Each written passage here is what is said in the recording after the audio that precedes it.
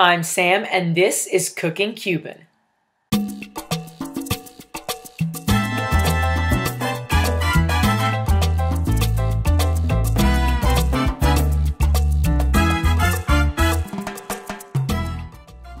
First things first, we have our ingredients. This is a very simple dish in terms of ingredients. Cebolla, que es muy importante. Lo más importante es la cebolla. Vamos a empezar con la cebolla primero. Pero bueno, vamos a ir dobando esto para que se vaya cogiendo un poco más de gusto. No me acerque mucho que se me va la arruga. Entonces vamos a poner aquí en el caldero la cebolla. La cebolla no tenga piedad. Échale dos. La cebolla no tiene nada que ver. Ese es el que le va a dar el gusto. Bien sofrita. Ahora sí que sofrirla bien. As Abuela said, the onions is really what's going to give so much flavor to this dish, so put in as many as you want. We put in two pretty large onions. We put them right into the pressure cooker so we could saute them in there. Make sure they're pulled apart so they can really saute well. Next up, put the oil in. Eso es a tu, a tu idea que tú veas que cubra. Add enough oil so that your onions cook well, and you don't want to put it too high heat because you don't want them to burn. So let them saute there while we season the meat. Entonces ahora espera que se sofría esa cebolla, bien sofrita. Entonces se le dan unos, unos huequitos así para que le entre el mojito, el sazón. Entonces espérate que eso lo, la, ella lo pone también. Entonces aquí se hace un huequito más grande para que entre, que lo vamos a rellenar con chorizo. Cut some small holes into the meat in order for the seasoning to really soak in. And then on both ends, you're gonna make a large hole so that you can stuff the chorizo into the beef. Estoy ahora abriendo el chorizo, ya lo abrí.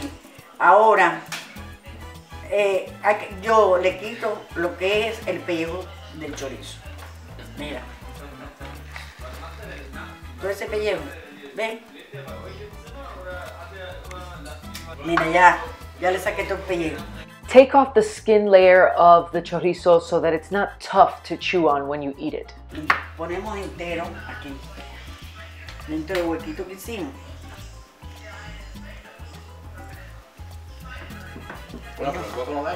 Sí, eso lo hice. Stuffing the chorizo into the meat is actually a lot more work than it looks like, so we brought in the big guns. Abuelo is putting it in there and he's accommodating it so that it lays there in the center. That way, every slice will have a piece. Uno por cada lado. Vamos a poner un chorizo uno por cada lado. Uno por cada lado. Sí, porque como son chiquitos y, la, y, y el boliche es grande, para cuando hagas la rueda te salga ya rellenito con el chorizo. Since this cut of meat is so large, you're gonna have to put a chorizo on both ends of the meat. Remember, while you're seasoning the meat, you have these onions sauteing, so stir them up every once in a while. Le echar sal. ¡Sal! Firstly, we're adding salt. Make sure you cover all the meat. And the next thing we're gonna add is sazon completo or a complete seasoning, which Abuela's gonna explain adds a lot of flavor. Esto es un sazón completo que tiene todo el condimento y así me ayuda a que sepa mejor la carne. Porque yo nada más que uso para hacer esto es cebolla y el sazón completo la carne. No se usa más ningún condimento. Y, y un poco de ajo también, estaba todo ready. Entonces vamos a poner un poquito. Esto se tiene que usar las manos para que todo now we add the minced garlic. Really get your hands dirty and rub it in there. Put it into the holes that you slit in as well. Esto, mira, como el natural. Todas las cosas naturales saben más sabrosas las cosas. Yo tengo 76 años, toda mi vida he cocinado natural. Ahora aquí vamos a esperar un ratico para que vaya cogiendo su gustico, el sazón que yo le eché. Y si uno quiere, lo puede dejar. El día un día otro, puede. Si tú quieres hacerlo por la noche, y dejarlo dobadito y ponen el freír mejor todavía. Te queda más sabroso. Todo, todo lo que dobe anteriormente. Mientras que tú no le eches limón, porque el limón te endurece la carne. Mientras que tú no le eches ácido como limón, naranja nada de eso, tú puedes uh, robar una carne y guardarla y hacerla al otro día. La, la, cebolla bien sofrita, porque tiene que estar bien, quema, bien sofrita, no quemada Quemada una cosa y bien cocinadita es otra. no quemada porque entonces se te amarga. So now that we've seasoned the meat, we're gonna take care of our onions more closely once again. And you see that they're sauteing there on medium heat. We're gonna add some salt and some pepper in order to give them a little more flavor. And once they are done and ready, we will be able to put the meat in there.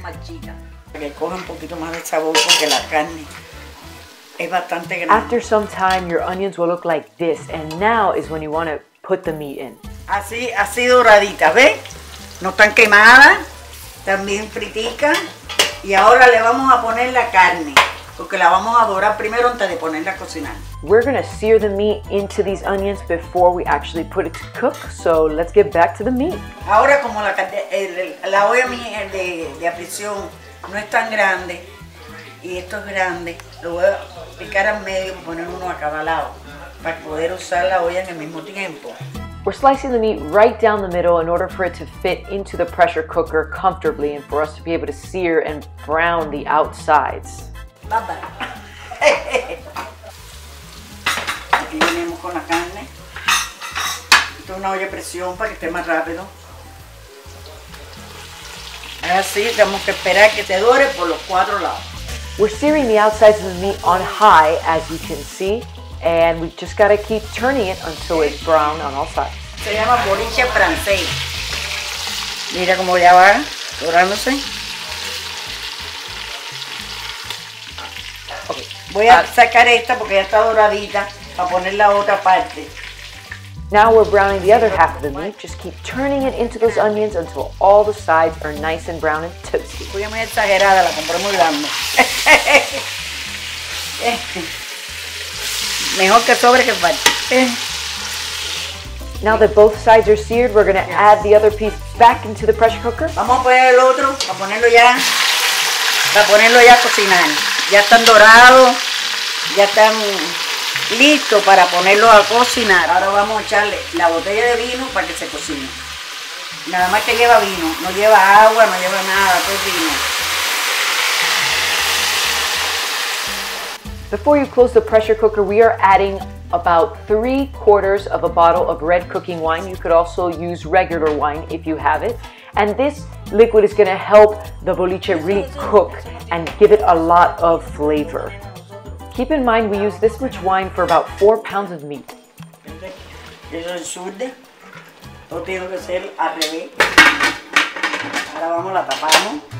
You're gonna close the pressure cooker and once it is pressurized, you are gonna count 30 minutes from the moment it pressurizes to when the meat is done and fully cooked. Ahora aquí esperamos que, que chifle la olla, que empiece a bailar el, el, el tapón. Cuando empieza a bailar el tapón es cuando se cuentan los 30 minutos. We're gonna cook this on medium high heat and now that our pressure cooker has reached pressure, we will wait 30 minutes until it's done cooking and voila!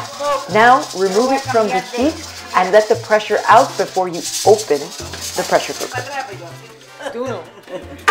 Ya pasaron los 30 minutos. ah, Cuéntame. Ahora vamos a sacar la carne que ya pasaron los 30 minutos que estaban cocinando. Ahora vamos a hacer la rueda. Now that your meat is cooked, you're gonna cut it into slices. Look at that chorizo just oozing out all that goodness. I cannot wait to eat it.